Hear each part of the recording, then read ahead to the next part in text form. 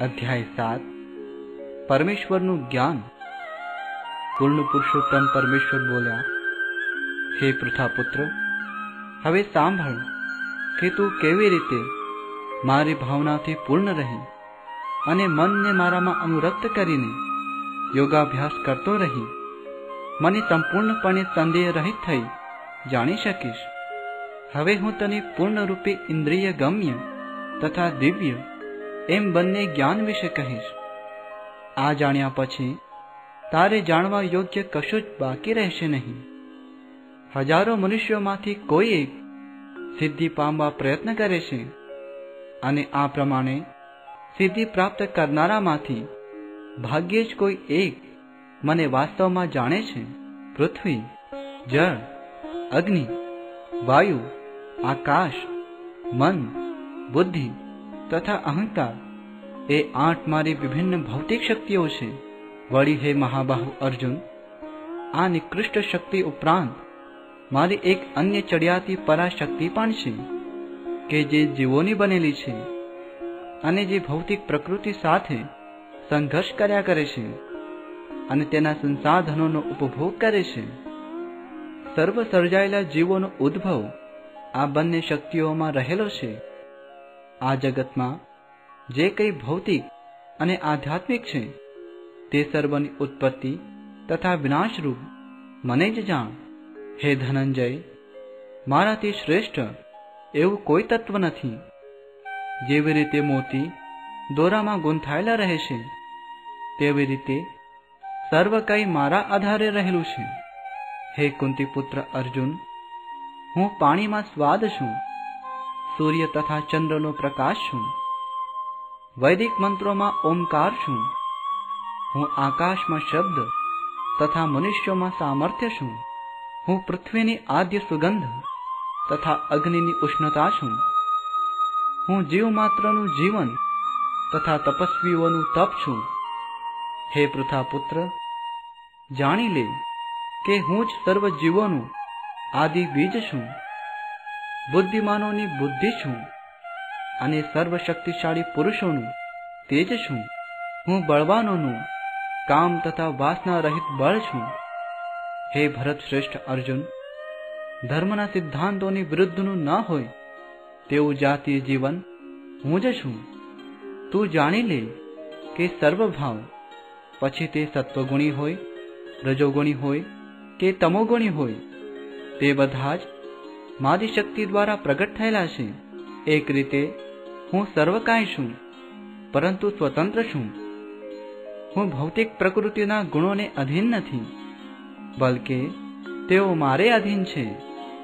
ત્રણ ગુણો, અર્થાત સત્વ, રજ તથા તમ દ્વારા મોહ પામેલું આ સમગ્ર જગત ગુણાતીત તથા અવિનાશી એવા મને જાણતો નથી. ભૌતિક પ્રકૃતિના ત્રણ ગુણોની બનેલી મારી આ દૈવી માયાને જીતવી અત્યંત દુષ્કર છે.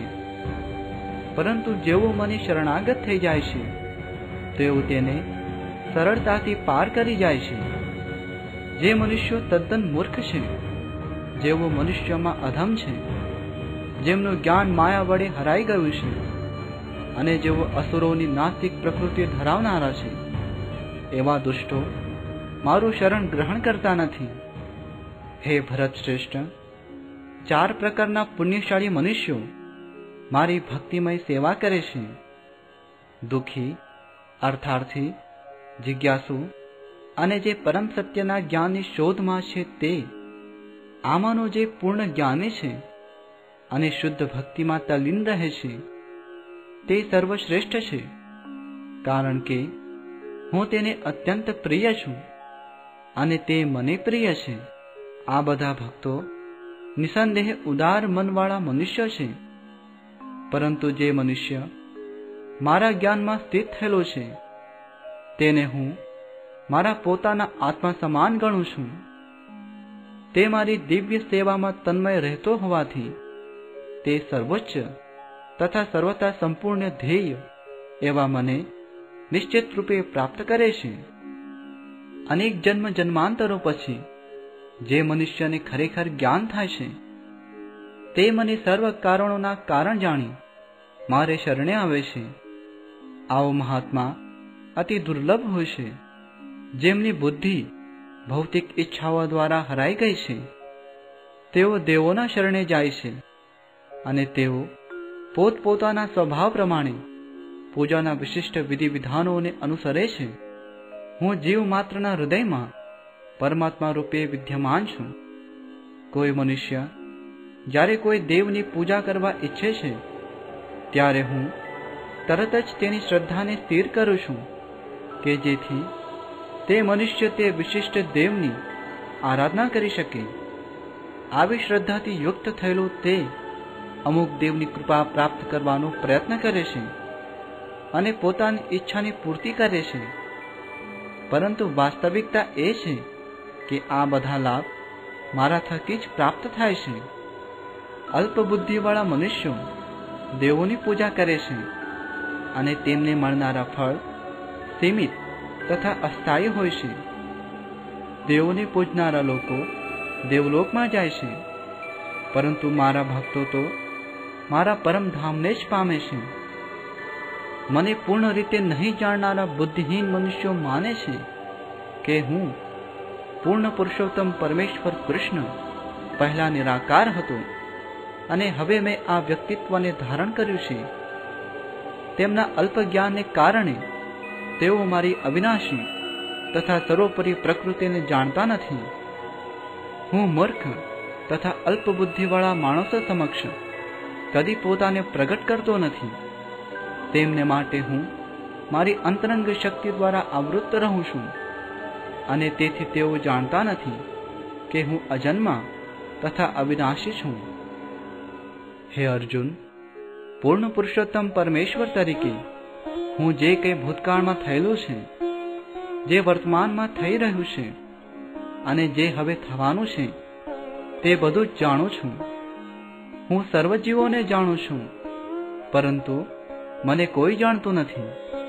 હે ભારત, હે શત્રુ વિજેતા સર્વ જીવો જન્મ લઈને ઈચ્છા તથા દ્વેષથી ઉત્પન્ન થતા દ્વંદ્વોથી મોહગ્રસ્ત થઈને આસક્તિ કે મોહને પામે છે. જે મનુષ્યોએ પૂર્વજન્મમાં તથા આ જન્મમાં પુણ્ય કર્મો કર્યા છે અને જેમના પાપ કર્મો સમૂળગા નષ્ટ થયા છે, તેઓ મોહના દ્વંદ્વોથી મુક્ત થઈ જાય છે અને મારી સેવામાં દ્રઢ નિશ્ચયપૂર્વક પરોવાઈ જાય છે. જે બુદ્ધિશાળી મનુષ્યો જરા તથા મરણમાંથી મુક્ત થવા પ્રયત્નશીલ રહે છે, તેઓ મારી ભક્તિનો આશ્રય ગ્રહણ કરે છે. તેઓ વસ્તુતઃ બ્રહ્મ છે, કારણ કે તેઓ દિવ્ય કર્મો વિશે પૂર્ણપણે જાણે છે. જે મનુષ્યો મને પરમેશ્વરને, મારી પૂર્ણ ચેતનામાં રહીને, મને જગતનો, દેવોનો તથા યજ્ઞની સર્વ પદ્ધતિઓનો નિયામક જાણે છે. તેઓ પોતાના મૃત્યુ સમયે પણ મને ભગવાન તરીકે જાણી તથા સમજી શકે છે.